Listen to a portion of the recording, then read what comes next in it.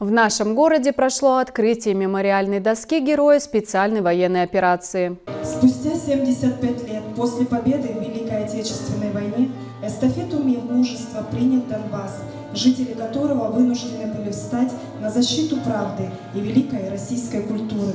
Мы, граждане России, великой многонациональной страны, обязаны были помочь. По-другому поступить было нельзя во имя справедливости и будущего нашей страны.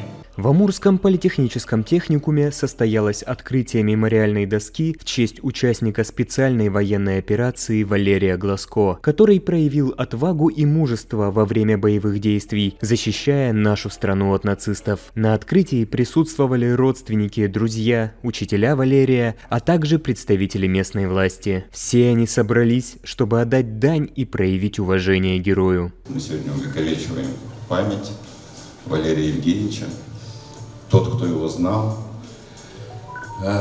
Одного общения было достаточно, мимолетного, послушать его песни, пообщаться с ним, что это светлой души человек. И неважно, сколько он сделал в своей жизни, он сделал самое главное и важное для любого мужчины, для любого гражданина своей страны, он отдал свою жизнь за то, чтобы мы свободно жили, учились, растили детей.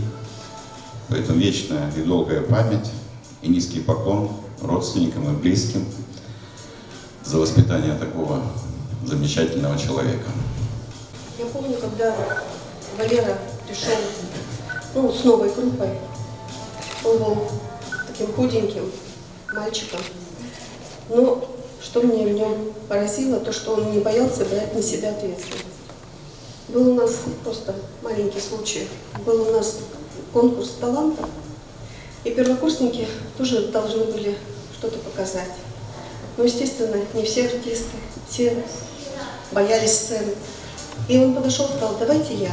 И выбрал сам стихотворение. Стихотворение его удивилось о родине, потому что сам выбрал. Он таким памятью у него всегда останется. Это был первый его выход на сцену, он очень волновался.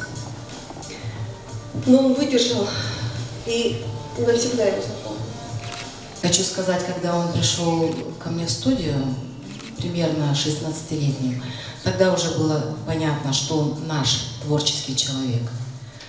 Когда Валера выступал, э, его на сцене не поддерживал ни шоу-балет.